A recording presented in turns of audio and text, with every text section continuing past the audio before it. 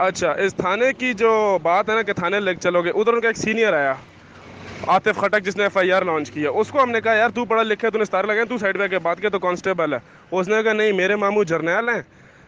तो, तो मैं तुम लोगों को थाने में ना उल्टा करके टांग के मारूँगा मैं देखता हूँ फौज क्या कर सकती है।